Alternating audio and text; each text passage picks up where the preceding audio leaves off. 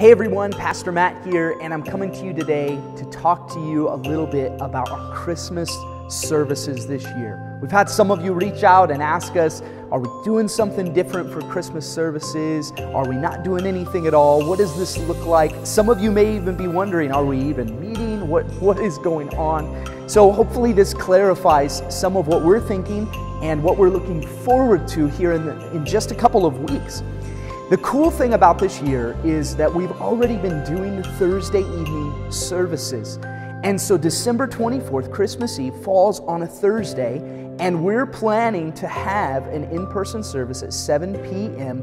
Thursday, December 24th. Now, that service is going to be the same service that we're doing on Sunday, December 27th. So, whether you come on Thursday, Christmas Eve, or you come on that Sunday, you're going to hear the exact same message. You're going to hear the same musical numbers that we've been prepping and planning to do as part of these services.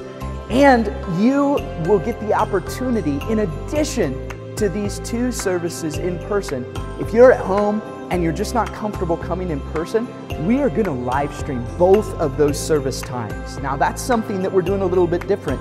Normally, we live stream just Sundays at 10:30 a.m. Well, the week of Christmas, we are going to live stream both Thursday evening at 7 p.m. and Sunday morning at 10:30. So if you've got your family together for Christmas Eve and you really would like to incorporate that element into your Christmas Eve celebrations, tune in online.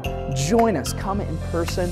Whatever you feel most comfortable with, we want to be able to serve you in that way. Now, as part of those services, there's two elements that we're going to prep you for so that you know what to expect. One of those elements is going to be communion. We're going to take communion together as part of both of those services.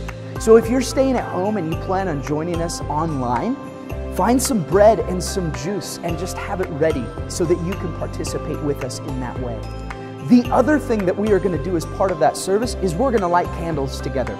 This is a yearly celebration that many people just resonate with, being able to look around and see those around them in a dim light setting, lit by candles, and reflecting on the reality that the light has come in Christ. So, those are two elements that we ask you to prepare for and look forward to uh, with us as we uh, lean into this season together.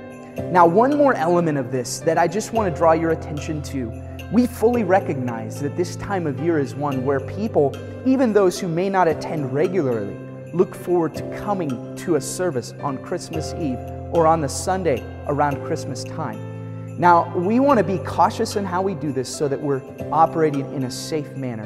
And so we're asking if you're planning on joining us in person, click the link in the description below and sign up as to which service you're going to come to and how many people are going to be with you.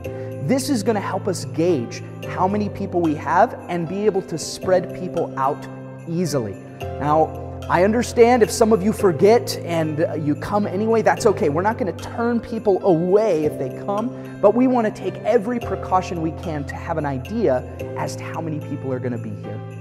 So that brings you up to speed. And if you have questions, if there's things that just still don't make sense to you, email us, call us on the phone. We'd love to answer those to bring clarity to them. And I just want to tell you, I'm excited to be able to gather with you, whether that be in person or online, as we celebrate the birth of our Savior. I look forward to seeing you.